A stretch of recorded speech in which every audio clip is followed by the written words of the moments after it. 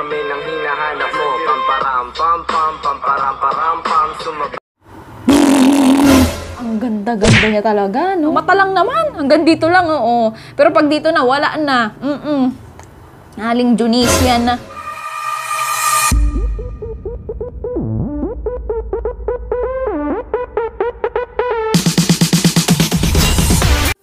Video, the most requested look of all time talaga. Lahat na lang ng look, nakikita nyo si Nadine. Nadine! Nadine! Nadine! Nadine! Nadine! Nadine! Oh, ba? Gaya-gaya. Paglaki ay ano, aso. Char! Aso! Ayan, so for today's video, talaga ito na. Dahil nga meron siyang parang ang ganda-ganda niya talaga, no? Kasi ano lang naman to sis, ah, makeup lang naman, hindi ko naman talaga siya ginagayat na totaling gayang-gaya. Magkaiba po kami ng taste. Ano lang kami, siguro may hubog talaga ng mukha namin na parehas kami. Siguro nakikita nyo sa mata siguro or sa ano, mata lang naman. Hanggang dito lang, oo. Pero pag dito na, wala na. Mm-mm.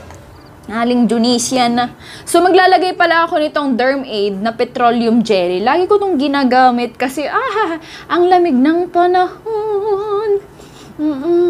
Lamig ng panahon ngayon. Malamig ang simoy ng hangin. Mhm. And meron din tayong mga gagamitin na mga Thai cute products. Ito yung mga napakagandang packaging, no? Ma- mabubulag ka talaga sa mga packaging, packaging nila. Tingnan mo naman, ang gaganda, oh. Look at that girl. It's so pretty. Lalagay ko dito kung saan ko siya nakuha, anong shop. 'Di ba? Packaging pa lang peachy-peachy na. 'Di ba? More on peach-peach. Mga ganyan ang ano ba? May, ang gaganda. Look at that girl, oh. Ang ganda, no? Sino ka dyan talaga? Ito din, oh. Nguha-nguha na. Ito, oh, ang bra... Ang cute na mga brushes. Oh, parang, parang ayaw mo na siyang gamitin dahil ang gaganda, oh. Parang lagyanan ng ano. Alam mo, merong ganito yung lalagay sa cake. Diba? Ang gaganda, sis, talaga. Excited na talaga akong gamitin itong mga to. So, without any dalda, let's jump to the video! Then, I'm gonna prime my face using the cor- Cover Effects Blurring Primer. Okay. Alam naman natin si Ate Nadine Lustre. Eh talagang, ay naku talaga. No? konting galaw lang ay medyo marami ding nagugulat sa kanya, no? Na di nyo man na naman hinintay ang explanation. Dahil daw siya nakaganon, kasi daw, basa daw yung kanyang short. Pinatuyo niya daw muna. O, di ba? Ang dami talagang mga ano, futuristic, analytic analysis. 'Di ba? Yung agad-agad na gumagawa ng kwento. So after niyan, tingnan niyo naman ito sis, ang cute-cute. So try na nga natin. This is the Nicara Unicorn. Na-try ko na to eh, na-try ko na to. N20 ang shade niya. Look at that. Mahulog. Ang ganda naman sis, parang ayaw mong gamitin. Ayaw talagang gamitin. Bakit ba? Char. So ganito siya pag inopen mo. Alam ko tatlo din shade nito eh. Medyo dark siya. And meron din siyang puff. At meron din siyang mirror dito na hindi ko maalis-alis. Ay, naapo nga talaga. Ayan. So, pag, alam mo, nabibilib talaga ako kay Ate Nadine Lustre dahil, 'di ba talagang yung beauties ng mga Pilipina, eh parang ni-level up niya nagpakita siya ng tunay na ganda ng Pilipina, 'di ba? Kasi ngayong panahon na 'to, kailangan maputi ka, kailangan uh, naka-veneers ka, 'di ba? Naka naka-brace ka, uh, maganda ka pag naka-brace, 'di ba? Ayan, so ito na nga, gamitin na nga natin ito. So try nga natin dito. Ay, bakak. Ang alam ko maganda coverage nito. Ay, oo nga, oh. Wow, ang ganda. Ay, oo nga sis, ang ganda. Match siya sa akin, no? Hindi siya sobrang itim, hindi siya sobrang puti. Eh, alam naman natin si Ate Nadine Lustreon, morena. Saka, yun din, tinaas niya ang bandera ng mga morena. Kaya, proud na proud ako sa kanya. This in the shade 20. Ang ganda ng packaging, oh. Alam mo, parang laruan, pero hindi siya laruan. Ang ganda.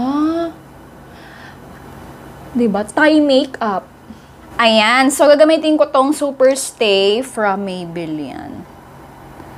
Ayan, oh. Kita niyo yung eye bags natin. Pero hindi tayo magpapatalo dyan. Diba?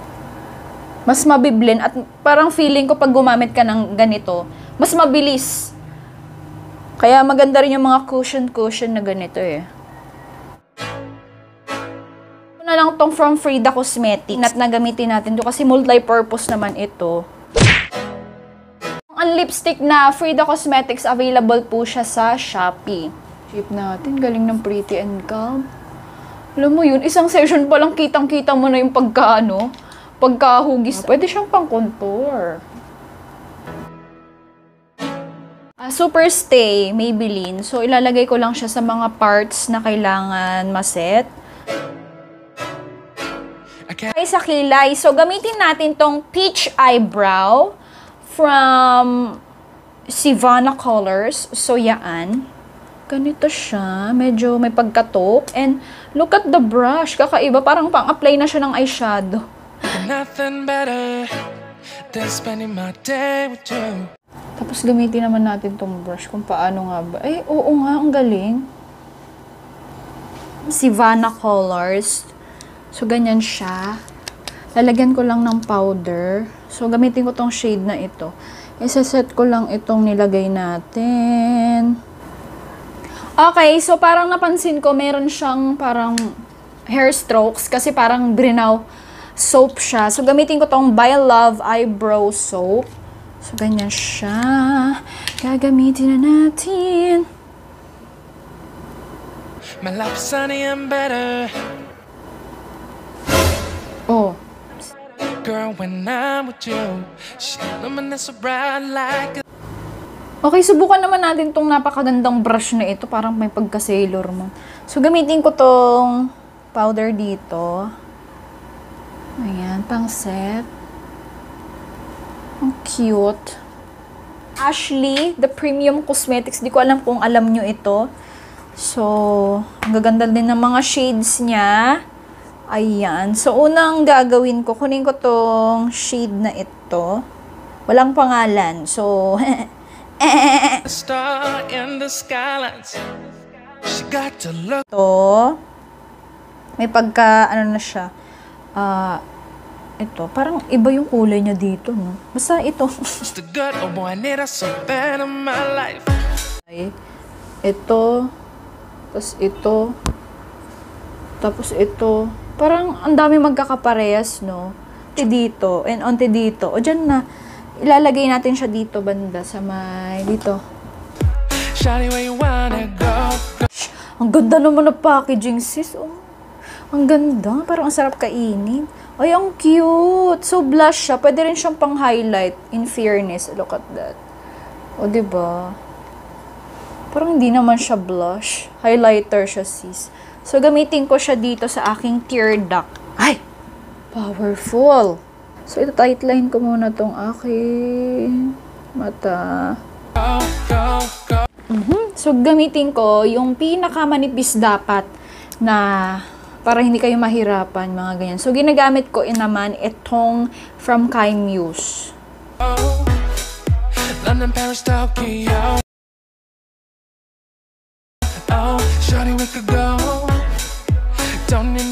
Lie. Ah, Falsies. Itong from Polish, itong In the Style Down. Ayan lang yung ginamit ko sa kilay dahil maganda naman tong kulay niya. So, yan. Ito, medyo... At gagamitin ko tong parang laruan na brush. Pero brush is siya.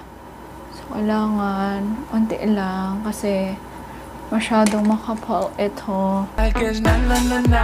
No need. So ngayon, wala pa po siyang stock, pero magkaka-restock na po soon. Kaya abang-abang po. So, gamitin ko na lang tong Nadine. Of course, my favorite pang blush. No stress, got na na na na. Just me and your sons are.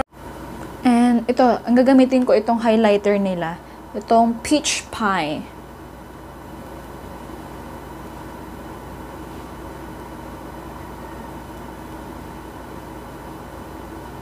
Ganda, ang ganda niya.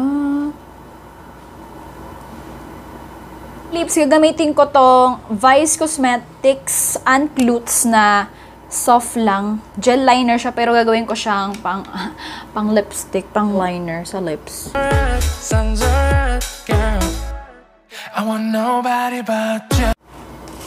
Ito, this is from Likha Cosmetics na Put Some Lace.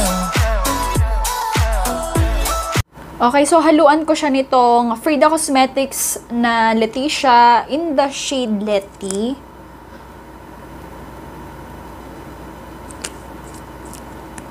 Wala.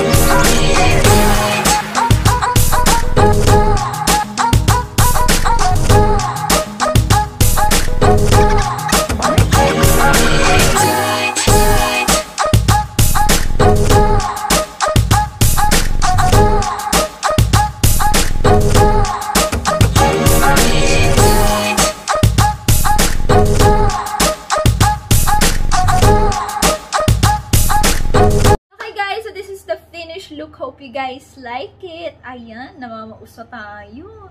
Nadine na ba? Nadine na mo ninyo. Ayan guys, so medyo nahirapan lang ako sa ano, sa buhok ko kasi parang alam mo naman yung buhok ko eh may ano, may tabas. Ayan no, meron tayong ang tawag nito ah, undercut. Tapos itong aking ponytail, ponytail ah, sa braid, ayan yung braid natin na medyo nahirapan din ako kasi parang nababangking itong braid. O, yan o. o. Ang hirap itaas, ang hirap ibaba. Mga ganyan. Hindi natin alam kung ano nga ba ang kakahinatnan nitong braid na ito. Pero, overall, buti na lang meron akong necklace. This is from Forever 21. Yung iba naman, ito, tas ito, yung mga, dati ko ng mga, ano, necklace. Ayan. Ah, 'Di ba? Ang ganda. Tsaka to, oh, ba? Na-achieve natin kahit papano itong look ni Miss Nadine Lustre. Ayan. So sa mga at mga gustong gayahin tong look na to talaga, napakasimple lang naman kasi ang mahirap lang naman yung paglagay ng eyeliner.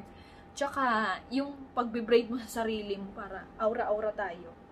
Yun lang naman guys. So if you haven't subscribed yet to my YouTube channel, please subscribe, like, share this video. Please turn on the notification bell down below. Bye-bye!